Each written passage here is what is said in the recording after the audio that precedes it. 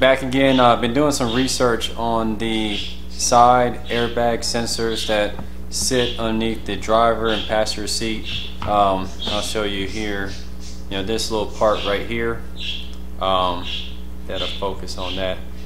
Anyway, so uh, I went ahead and grabbed my meter and put it on an ohm reading to see if uh, I can get any kind of reading out of it, you know what I mean? Because I don't know if it's open or shorted or really what kind of reading it should give. But um, and according to some research, they say that a lot of these sensors reset themselves nowadays. This is a, according to the, the wire diagram, it's a solid state uh, system.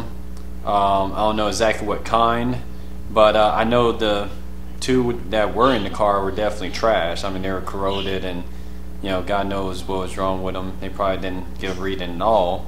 So that may be the reason why the airbag sensor light was on. I don't know. But uh, I just wanted to check it with a multimeter just real quick just to see and I'll show you real here uh, right now.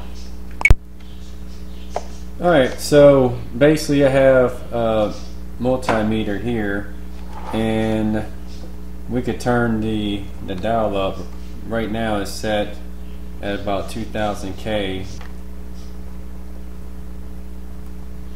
yeah it gives me like 80 so I'm thinking that's 80,000 ohms and it's pretty steady. The other one gives me like 81 82 so according to that it makes me think that they're good.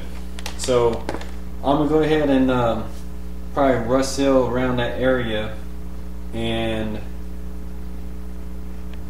you know, install and see the airbag light goes off. Hey everyone, so um, so far we got those two side airbag sensors tested. I think they'll work. In the next video, I'll go ahead and show, you know, plug them in, uh, you know, plugging in the airbag computer and seeing if that airbag light goes off. If it does, I think we're 100% to go ahead and do the rust seal.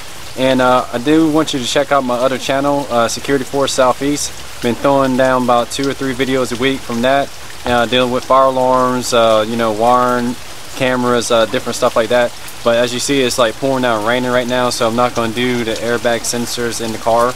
And, um, you know, I'll just have to catch you on next one, okay? Peace.